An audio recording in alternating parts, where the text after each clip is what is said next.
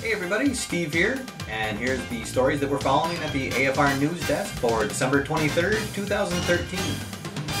Our top story this week is from over at Diggin Deep Sports. They've released the PC version of Diggin Deep Tennis.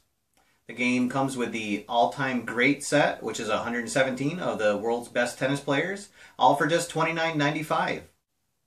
Early next year, they're going to begin releasing their annual season sets, including the upcoming 2013 season, and those will be available for $9.95 each.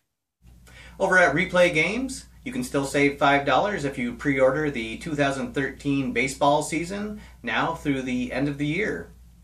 There's three versions available this year, the standard, deluxe, and old school versions, and that game is due to ship out next month.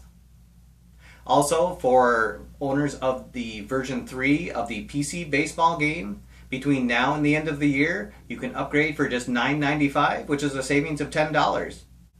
Be sure to check out the links below the video for further details. And finally, just a couple of quick updates.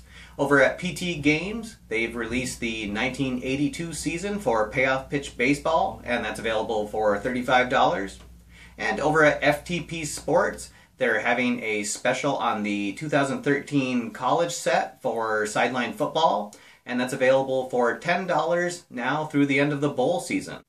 Also, be sure to check out the FTP Sports website, where they're continuing to add YouTube tutorial videos for their sideline football game.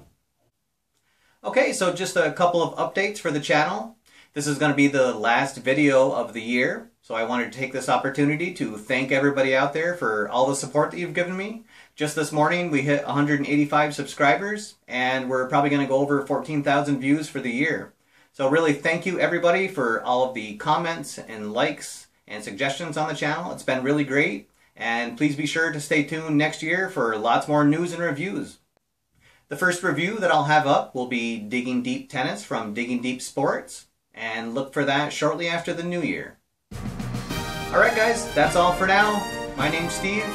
Wishing you a very happy holiday season, and I'll see you next time after further review.